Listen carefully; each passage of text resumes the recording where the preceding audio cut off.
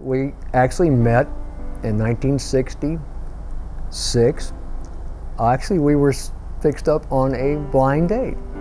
We kind of liked each other, and before we knew it, uh, I gave her an engagement ring. We'll be married 40. We've been married 45 years come 45 April. years. Mhm.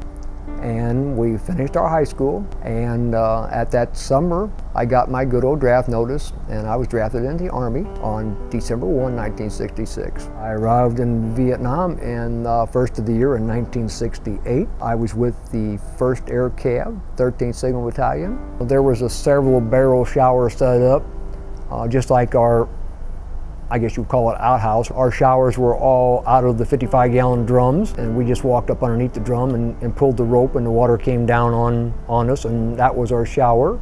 I was told and I've read many times now that those barrels were shipped there with the chemical, the dioxin in it that they use for spraying. I survived a tour in Vietnam, uh, came back home and my wife Paula and I resumed our life uh, and we had three children. My daughter Emily just turned 32 on uh, last Wednesday. When she was two and a half years old, we found out my daughter had a brain tumor and a cyst. Uh, it was called a cystic astrocytoma.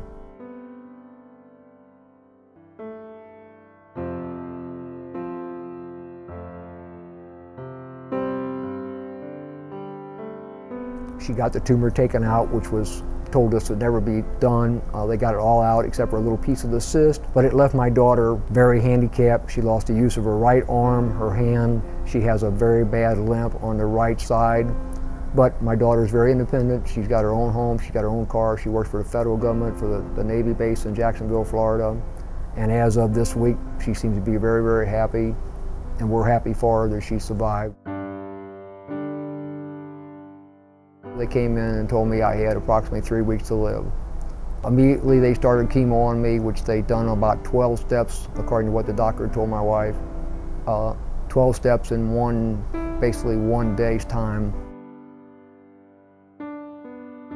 And I was informed that you only have 20, 25% chance of having a brother or sister or, or a sibling that would be a match like your sister. Your, your sister matched for 100% but all this chemo and all the other problems, um, I've had two trans or two pacemakers put in my heart. Uh, the first one was in when I was 55. I just had my second one put in uh, in April, this past April. So I'm working on the second pacemaker, uh, which they tell me is caused from ischemic heart disease. The doctor did not personally mention Agent Orange. He did mention that the disease I have is basically chemical related.